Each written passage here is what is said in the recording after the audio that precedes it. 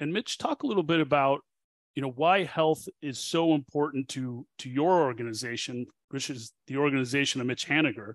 That's been the constant right? It's it's you're the organization. How important has health been particularly movement health? I mean it's everything.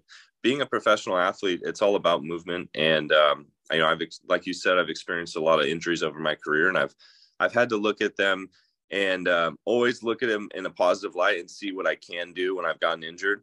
Um, kind of have my checklist of, of okay these are the things i can do and these are things i can do and in order to come back as strong or even better. And i've had some injuries where i've come back even stronger and i think it's because i've had that mindset that I, that you've taught me. And um, you know especially i've had multiple different injuries. I've had an elbow injury one year and uh, coming back from it the second game back i had a hamstring injury um, it was just because early on in my career i was 22 years old i didn't really understand what it was what it was like to be hurt and miss a lot of time so um, I, I wasn't sprinting a lot, and some of those things get neglected in rehab. So now, um, suffering from an ulna fracture, and I'm like, okay, when's the earliest I can start sprinting so that my legs are not only strong when I get back on the field, but hopefully even in a better spot than they were um, when I had my arm fracture.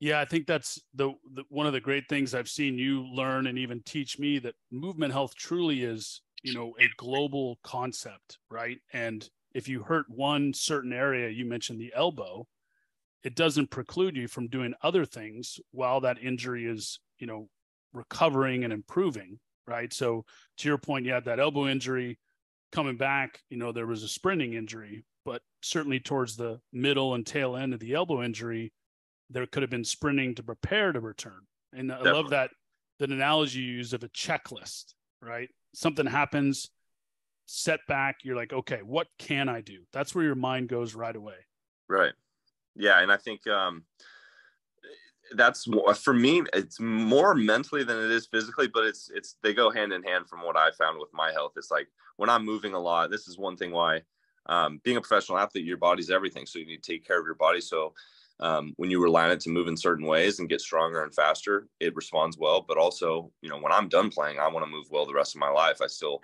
want to have an active life with my daughter, with my you know future kids to come and my wife and and be able to move because that makes me mentally happy as well so when i had this fracture i was like okay this this sucks and obviously you have some negative thoughts come in but then i kind of tried to switch it as fast as possible to man of all the rehabs i had, this might be one of the easiest ones because like you said i can run jump even hit with my other hand um, there's so many things i can do and and for me that just keeps my mind active and also i know I, you know it's only going to help my performance when i get back on the field.